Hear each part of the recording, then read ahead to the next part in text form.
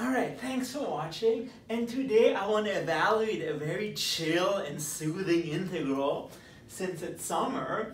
Namely, I want to evaluate the double integral of arctangent of y over x, where d, over the domain D, where D is the following wedge. And let me just draw it out. I think it's easier. So if this is the line y equals to x, and this is, if you want, the positive axis, then D is just a wedge, say of radius 2.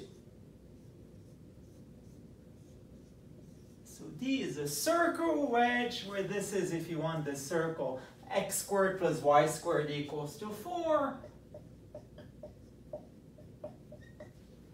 And it's underneath the, the thing y equals to x and the positive axis. Because D is a circular thingy, and turns out because you have arctangent of y over x, this is a perfect time to use polar coordinates. And so, the point is, this becomes something of something, r dr d theta, and arctangent, we have to transform it a little bit. Okay, I'm trying to do too many things at the same time. So first, let's figure out what r is. So again, r here is the radius. Something like that. And notice, because we're entrapped or enclosed in this disk of radius 2, namely x squared plus y squared equals to 4, notice that the radius is precisely between 0 and 2. Because the smallest it could be is here, it's 0 the largest it could be is 2. And so r is basically between 0 and 2. And next thing, let's try to determine the angle. So notice here we have the angle theta. And the angle, well, it could go from 0 to whatever that angle is. So 0 to something, and well, now let's try to determine that something. So I think the easiest thing to realize is, well, this is, you know, the first quadrant corresponds to pi over 2, and here we're like cutting the first quadrant in half, so it has to be pi over 4. Or what you could do is just plug in a couple of points. If this is 1, this becomes 1, and we have a right triangle with 1 and 1, so the biggest angle has to be pi over 4. So it's 0 to pi over 4. And now let's figure out the arctangent thing and you'll see it becomes very beautiful. So arctangent of y over x is arctangent.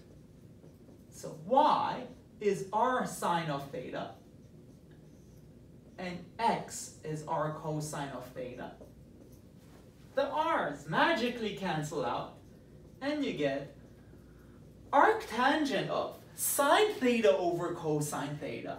But that's just the same as tangent theta.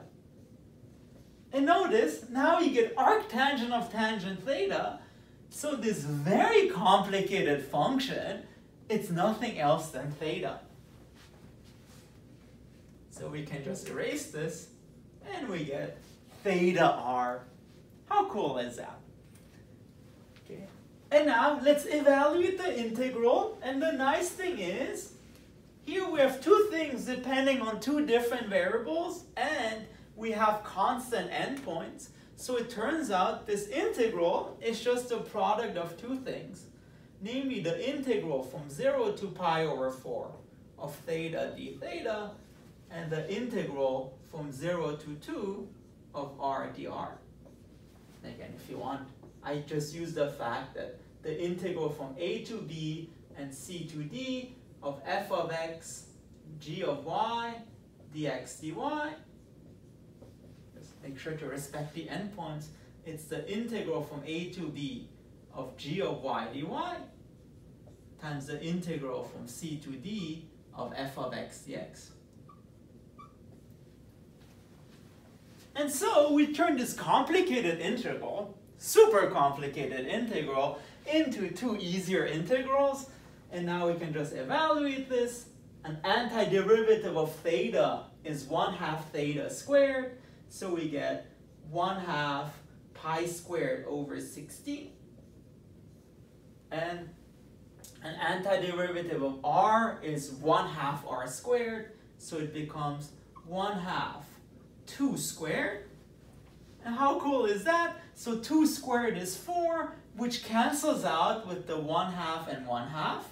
And in the end, you get pi squared over 60. Awesome, right? Okay, yeah. I, I think it's so great. And that's why I really like polar coordinates.